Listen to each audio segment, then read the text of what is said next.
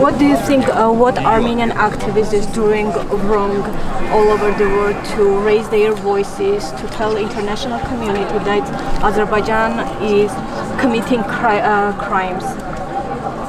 It is. Uh, you can. You can. This woman. Without. We have mics. Okay. It is not in any way up to them and their responsibility to raise awareness about this.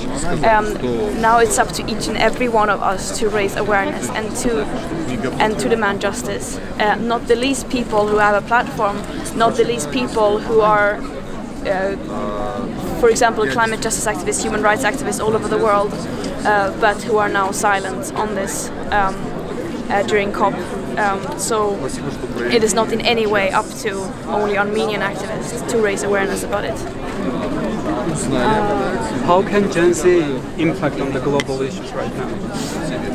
Um, How can we demand climate justice? how can we? Gen Z. Yeah, I I mean, in every possible way. Um, I think we just. I mean, the power of Gen Z is has been proven time and time again that once we go together, once we start to organize, there are very, very few limits to what what can be achieved. For example, when we, with the student movements, uprisings, and for example the, the school strike movement and similar similar uprisings, because I mean, we also have to explain to the older generations that we are not going to let them get away with their bullshit anymore and let them get away with with um, locking us further into this extremely destructive system um, and just say that we are not going to we are not going to accept that. Thank you so much. how to raise awareness in countries where climate change or environment isn't the number one priority, where people are on the verge of a new war, for example, Yeah. every day. How to raise awareness in countries where this is not the number one issue.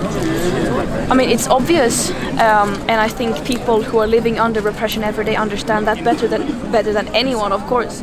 That we cannot uh, be talking about climate justice, we cannot be talking about the environment if people do not have even their basic human rights. Um, so that's why human rights and the climate crisis and environmental issues has to go hand in hand.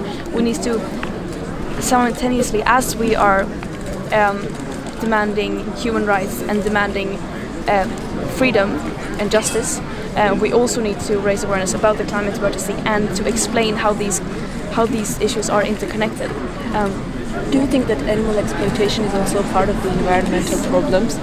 It's Yeah. usually being excluded from the environment. no, of course it is. Of course it is. In any Both- form. Yeah, of course. Um, both when it comes to the, the climate and environment, the same reason, the same industries, the same system that are exploiting animals, as you say, um, are the same ones that are destroying the nature and also exploiting humans and destabilizing the biosphere, and the very living conditions we all depend on to survive. So of course, Uh, maybe you already know that uh, COP17 will be in Armenia in 2026.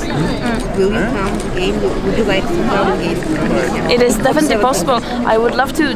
I would love to come back.